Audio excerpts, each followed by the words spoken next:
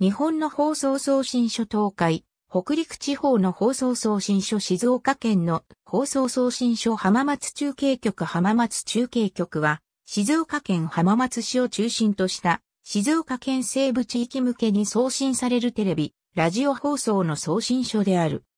テレビ放送の送信所はデジタル化以降、同一所在地に全放送局が集約されたが、ラジオ放送の送信所は放送局によって所在地が異なり、現在、牛山、太平台、富塚、ネズミ屋の4カ所から放送されている。所在地は、浜松市中区市も池川町35-28。テレビ、ラジオ放送の中継局で、静岡県内全放送局の地上デジタルテレビジョン放送、NHK 静岡放送局の FM ラジオ放送の送信を行っている。また、2010年9月30日までは外国語放送局の中継局も設置され、2011年7月24日までは NHK 静岡放送局の地上アナログテレビジョン放送の中継局も設置されていたが、アナログテレビ放送終了とともに廃止された。旧 NHK 浜松支局が敷地内に設置されていたが、老朽化などにより2016年報道機能を浜松アクトタワーに移転、ついだアーカイブス部署を川口市、営業部を静岡市に移転の上2018年2月に閉鎖された。今後は取り壊しの予定。歴史補足補足2000年4月1日に開局した外国語放送局愛知国際放送は2010年9月30日24時に廃止となった。送信を行っていた当時の浜松中継局の設備概要は次の通りである。浜松市西区太平台2丁目36の10に置かれている FM ラジオ放送の中継局。浜松市内に本社を置く民放 FM ラジオ局静岡 FM 放送の浜松局 SBS 静岡放送ラジオ浜松 FM 保管中継局がこの場所にアンテナを設置し送信を行っている。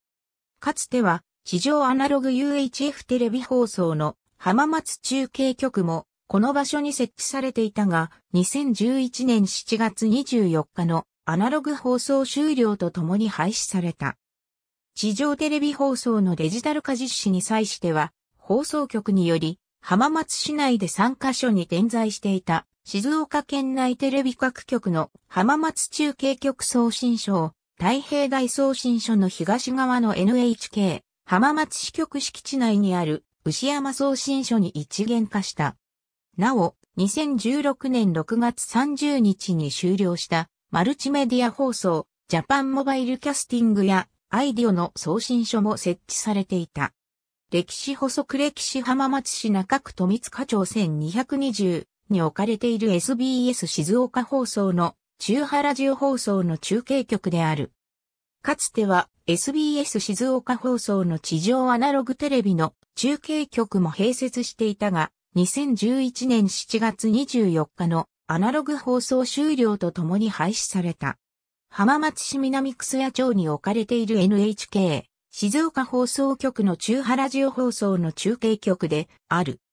総務省電波利用ホームページ無線局免許状等情報静岡 FM 放送株式会社2017年12月28日、閲覧。総務省電波利用ホームページ無線局免許状等、情報静岡放送株式会社2017年12月28日、閲覧。SBS ラジオ、ワイド FM について、AM ラジオの FM 保管中継局に予備免許？SBS ワイド FM 試験電波発射のお知らせ。静岡放送に予備免許ワイド FM、静岡県西部で開局へ、アット S、静岡新聞ニュース、ハット VHF11CH に相当する周波数。具体的な地域は、浜松市中区、東区、西区、南区、北区、浜北区、岩田市、袋井市、小西市、菊川市の全域と、浜松市天竜区、島田市、掛川市、御前崎市、牧野原市、周知郡森町及び愛知県豊橋市、新城市、田原市の各一部地域。テレビと呼ぶには、面白すぎる、の TV、4年長で、サービス終了は IT メディア2016年6月30日2020年5月24日、閲覧、放送大学学園の使用していた周波数及び V 配帯域の現状。総務省。2020年5月24日閲覧。アイディオ放送終了のお知らせマイナス2019.12、25アイディオ。2020年5月24日閲覧。浜松市で携帯端末向けマルチメディア放送局及び免許、総務省東海総合通信局札幌、旭川、仙台、浜松、福山送信所の試験電波発射、ジャパンモバイルキャスティング2012年10月15日リリース、テレビ静岡20年の歩み213ページより、かつては、ジョボが割り当てられていた。かつては、ジョボ TV が割り当てられていた。かつては、ジョットグが割り当てられていた2000年3月16日5時より 999kHz から現在の周波数に変更された。NHK ラジオ第一放送は、当送信書が万が一送信できなくなった際の予備送信書が浜松市中区の牛山送信所内に設置され、空中線電力 100W で送信される。かつては、ジョドックが割り当てられていた。ありがとうございます。